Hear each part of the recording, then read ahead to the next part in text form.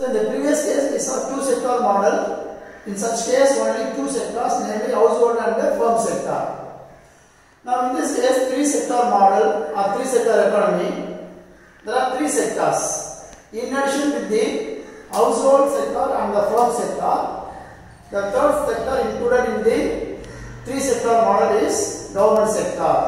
So in three sector model, there are three sectors. Number one, household sector, government sector and firm sector.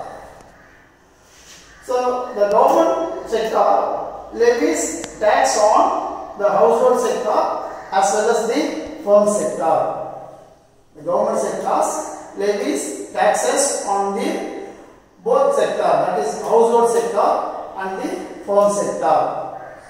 So the illustrated example or illustrated chart explains the following five points.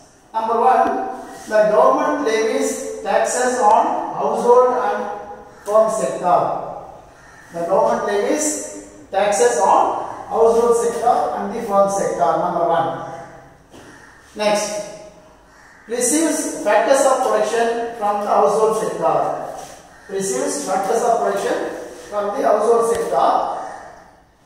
For that, social transfer to the household sector in the form of pension, relief, and subsidies. Uh, listen carefully. Receives factors of production from the household sector. For that consideration, government makes social transfer to the household sectors in the form of pension, relief, and subsidies. Next, the government receives factors of uh, purchase of goods and services from the firm sector. The government purchase of goods and services from the firm sector and the government make the payments to the firms for the same uh, for the purchase of goods and services in consideration.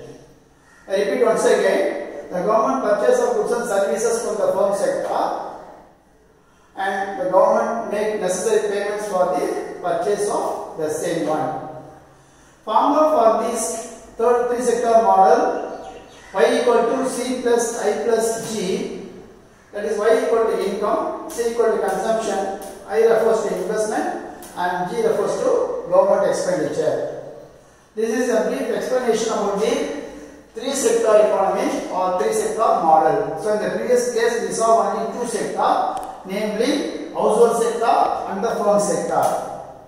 In three, uh, three model set, three sector model, household, government and the firm sector.